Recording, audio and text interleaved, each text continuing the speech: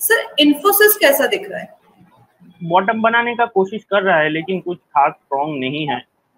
ये एक minor support इसमें दिख रहा है। लगातार आप देखेंगे तो आईटी लगातार ये जनवरी 2022 से ही यानी इस, इस साल के पहले मंथ से ही ये अंडर परफॉर्म कर रहा है। लगातार लोअर टॉप लोअर बॉटम का फॉर्मेशन है। एक सपोर्ट स्टॉक ने लेने का कोशिश किया है 1350 के जोन में। जब तक वो होल्ड कर रहा है, तब तक आप एक्सपेक्ट करके चल सकते हैं कि अपसाइड में 1450 1460 वहाँ तक ही लिमिटेड है।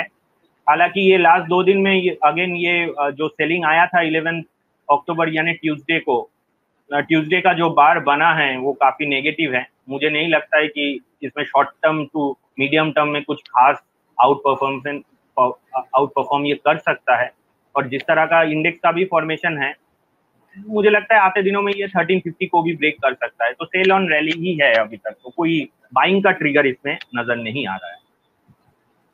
तो अभी सर ने बताया कि इन्फोसिस में बाइंग का ट्रिगर नज़र नहीं आ रहा है। वैसे भी काफ़ी सारे काफ़ी ज़्यादा सुर्खियों में है इस टाइम पे इन्फोसिस अगर हम न्यूज़ भी देखें तो बात अगर एम्प्लॉयमेंट की हो या उसकी नई पॉलिसीज़ की हो तो इन्फोसिस हमें दिख रहा है कि कहीं ना कहीं सुर्खियों में चल रहा है, लेकिन इस टाइम पे बाइंग का लेवल इन्फोसिस में नहीं दिख रहा है।